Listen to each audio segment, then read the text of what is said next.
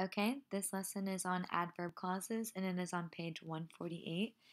Again, it is mostly review, but it can get a little confusing. Just make sure that you're following along with the definitions and exercise examples.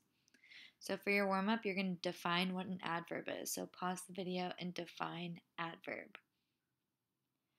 You are correct if you said it is a word that modifies a verb, adjective, or other adverb. And now I have three example sentences that I want you to look at. Zach finished. This is a complete sentence. It's got a subject and a verb. Zach finished early. Early is an adverb, it's describing when he finished. Zach finished before the due date. This is actually an adverb phrase because it has a preposition, but it's still answering when he finished. So it's still modifying a verb before the due date. And the last one is an adverb clause. Zach finished after the report was due. So, yes, after is a preposition, but this is a clause because it's acting as a subordinating conjunction here.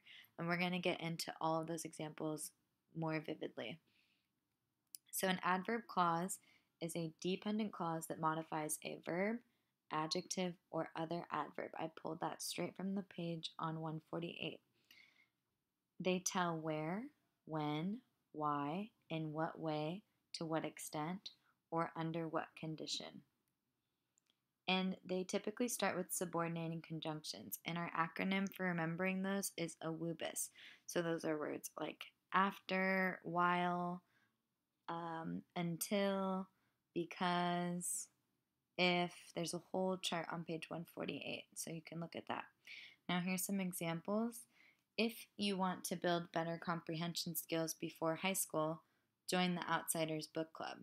So, this is a dependent clause. You need the other part of the sentence to understand if you want to build better comprehension skills before high school. Okay, it starts with a subordinating conjunction and it's asking in what way you could build better comprehension skills. Here's another example. I started this book club so that you could read an awesome book and stop playing video games all day. So is acting as a subordinating conjunction. This is a dependent clause and it describes why I started. So it modifies the verb. Therefore, it's an adverb clause. Feel free to Zoom me if you have any questions. I'm going to do three examples from exercise one. So remember that you could pause the video and test yourself to see if you can identify these adverb clauses. So what I would do is I would look for the subordinating conjunction or look for a comma because that shows that it's a dependent clause. And it would be everything that comes before the comma. So number one, it says, although it is almost extinct, the Florida panther is the state animal of Florida. So it's the first part of that sentence. Although is a subordinating conjunction, so I underlined it. Although it is almost extinct. Okay? And number two, the panther became endangered because its habitat was destroyed.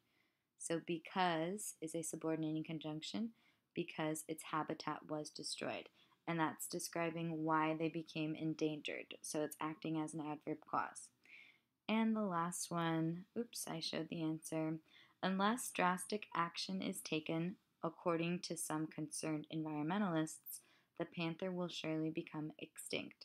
So, unless is a subordinated conjunction.